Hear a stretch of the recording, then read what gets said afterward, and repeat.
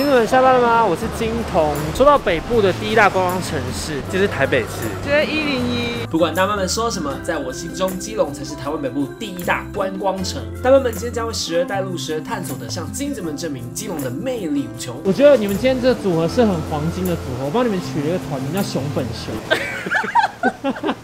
总之，因为现在我们还没吃中餐，所以第一站我们就在仁爱市场，可以看一下这个人潮。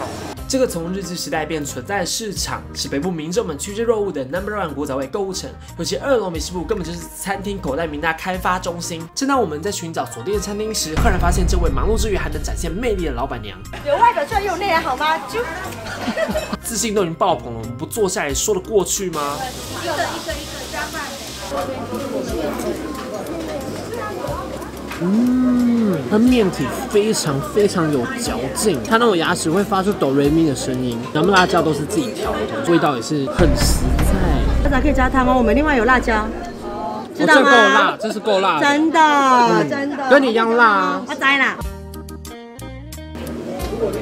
嗯，鸡排它是一个隐藏的菜单，你要自己在菜单的旁边品相旁边写一个鸡字，它才会给你这个鸡排。不过在牙齿被手打面调戏的过程中，发生了一点插曲。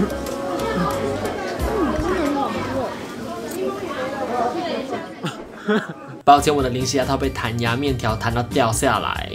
这家谨慎厨房老板热情，味道获得熊本熊的青睐。虽然完全不在我们计划内，但推荐大家来尝尝。紧接着，金童要在仁爱市场示范时尚街拍。这边其实呢很好拍照，就由我这个摄影大师为你们亲自示范几张。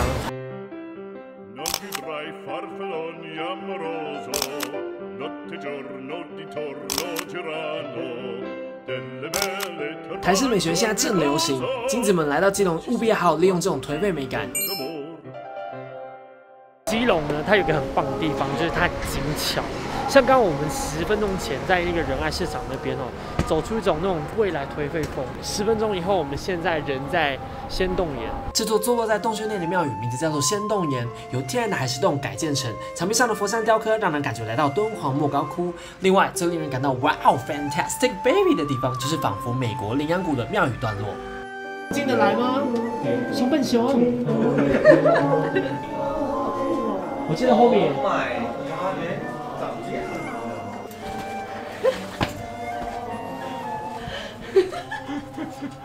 石峰的尽头是一座佛坛，但我看着看着就想到，刚路窄成这样，这佛坛是怎么盖的？好，如果你把庙看完的话呢，从阶梯下来哈，在旁边有一个楼梯，我们走上去就到另外一个景点，叫做佛手洞。我觉得这地方就是一定要来，因为照理来说，大家看完刚刚那个仙洞以后，他们就会离开。不晓得旁边其实还有个佛手洞，是不是？是不是宽阔很多？佛手洞也是天然的海石洞，虽然里面有几条岔路，但路上因为有指示牌，基本上呢不用怕迷路。走到洞窟最深处看，就能看到佛手印在天花板。想体验古墓极品感受的金子们，推荐一定要来仙洞岩和佛手洞瞧瞧。惊不惊喜？好惊喜哦！金龙还能让你更惊喜。现在跟着金童一起去外拍吧。我现在人已经在我们的中山路桥了，它非常的特别。它以前的那个《千禧曼波》的电影里面的时候呢，舒淇就是在里面这样跑步跑过去，后来就很多人叫这条路桥叫做舒淇桥。这个地方它旧的非常有味道，待会我就请熊本熊两个人示范怎么样在这个路桥上面拍出熊版舒淇来。来回头。漂亮，哎，你好成功哦！然后你不要气馁，来看我，来回头。其实你未必只能在走道上面拍，我们可以利用一些人行道这个窗口这个错落的感觉，制造出一种非常随性的街拍感。就这样，哇，好好看哦！等一下，来，来告诉我谁是舒淇？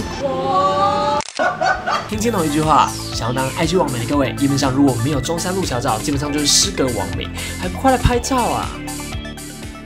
因为中午才出门，用不了多久，便又到了晚餐的时间。人都来激动了，怎么可能不去庙口夜市呢？这种庙口夜市就是大家都晓得嘛，它无论是早上，无论晚上，它永远都存在一个人满为患的状态。所以我们待会就是去看看，到底有有没有办法买到我们想要吃的东西。我随后发现了吴家顶边错帅哥。哦，哇哦，好像蛮像哦，哇！你看他多认真，在这个工作场景里面努力的样子，配上他那风度翩翩的刘海，他也很努力好吗虽然也蛮努力，但我只能说，当一个人帅的时候，他的努力是会翻倍上涨的，你知道吗？每次来基隆的时候呢，我们的摄影胖姐她一定会来排这家五十八号的营养三明治。总而言之，因为其实我有大概吃过几家，我也是觉得这家算是比较好吃，因为它的面包比较饱满。人满为患的基隆夜市，许多店都需要抽号码牌来排队。除了天生铺的营养三明治以外呢，往前走一点有一间不知道什么名字的碳烤土，由于都是三明治，外加用料很相似。今天实际我们就专注在平板式三明治及棒状式三明治的对决。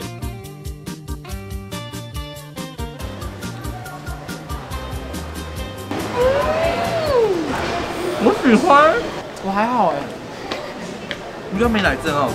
但不觉得肉还好吗？嗯，肉还好。这种有脂肪的肉，它只要冷下就变硬变干，因为它是叫好的，然后号码过了以后，你还是可以拿。如果你有办法及时去拿的话，及时去拿。这个应该热的是好吃。我以往都会买这家的超营养三明治来吃。他没有超，好不好？超营养，我觉得是来自一些脏话的谐音吧。我也不知道取这个名字的人在想什么，这到底哪里营养？最夸张的是，他在他的招牌上面写“延年益寿有吗？”，这吃太大口会刮到嘴皮。会，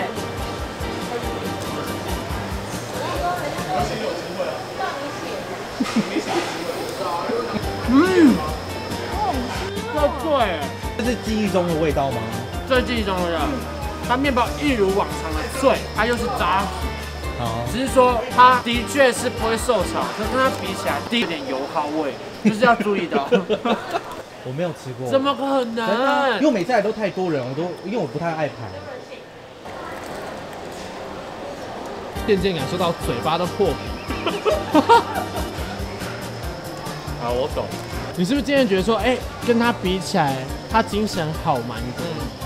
在我们要离开以前，摄影胖姐特别指定要来买这间礼壶比念壶吧，礼壶比念作为伴手礼。我们摄影胖姐，她就坚持说，这一定要来这边就是要买一个东西，我就不免俗在那边开给大家看。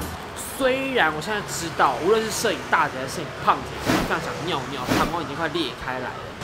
快一点，我听到裂现在这样子的包装的视觉是非常流行的，现在很流行这种很纯正的那种台味，里面呢就是很方正的传统的凤梨酥。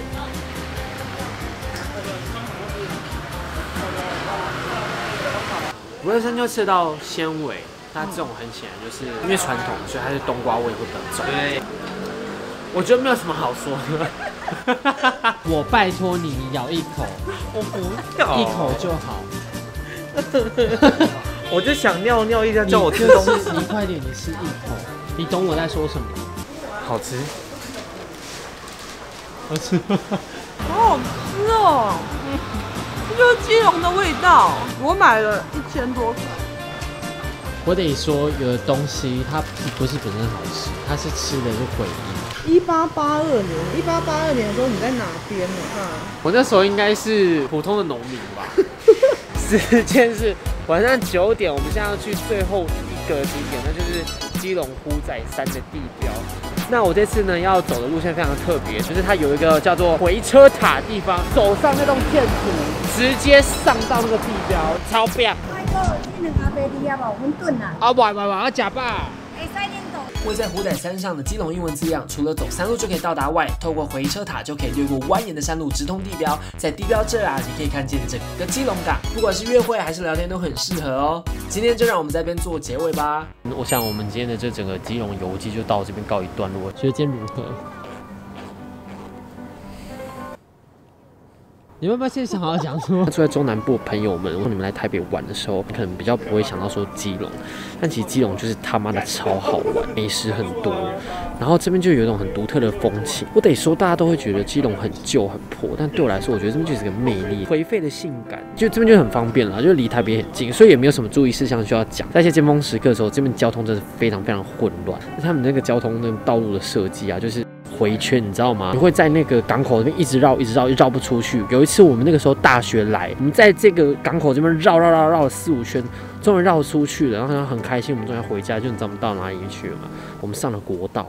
我们骑摩托车上国道，通报警广。对，然后还有人按我们喇叭，然后还有人报警。总而言之，就差不多是这样子了哈。大家如果觉得今天影片好看的话，就按赞、订阅、加分享。再见。